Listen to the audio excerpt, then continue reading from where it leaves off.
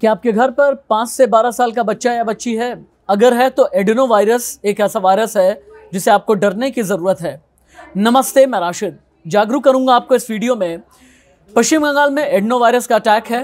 और adeno virus की वजह से 23 फरवरी को एक तेरह साल की बच्ची की मौत हुई है और अब तक कुल मिला जुला करके पश्चिम बंगाल के अलग अलग हिस्सों में 12 बच्चों की मौत हुई है। सामान्य खांसी, जुकाम लगता है, लेकिन वक्त के साथ सांस की तकलीफ़ होती है और पूरी तरह से जो रेस्पिरेटरी सिस्टम यानी सांस लेने का जो सिस्टम है, वो हो जाता है कोलैप्स और बच्चे की हो जाती है मौत।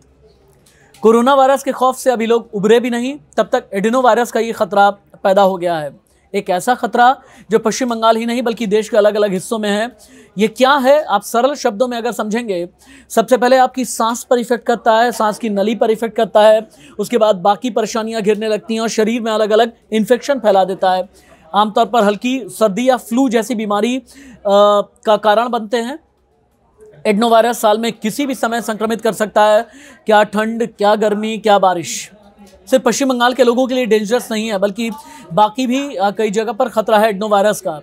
ज़ुकाम, बुखार, निमोनिया, गला ख़राब होना, लाल आँखें, गुलाबी आँखें गैस्ट्रो रिलेटेड अगर बच्चे को परेशानी है ब्रोंकाइटिस है अगर तो आप तुरंत ही जाकर के डॉक्टर से मिलें। अपने बच्चे को नॉर्मल खांसी, बुखार या एडोनो वायरस आपको चेक कैसे करना है, आप समझें। अगर बुखार है तो सीजनल वायरल एडनो वायरल दोनों में ही बुखार रहेगा। अगर सीजनल वायरल है तो सांस की तकलीफ़ नहीं होगी, लेकिन एडनो वायरल है तो सांस की तकलीफ़ होगी। दस्त मितली या फिर उल्टी अगर आती है तो सामान्य वायरल में होगा, लेकिन एडनो वायरल में नहीं होगा। लिहाजा आपको अगर शरीर में दर्द बच्चे के है, बच्चा ये कहता है, पैर में दर्द है जॉइंट में पेन है, तुरंत ही आप डॉक्टर से मिलें।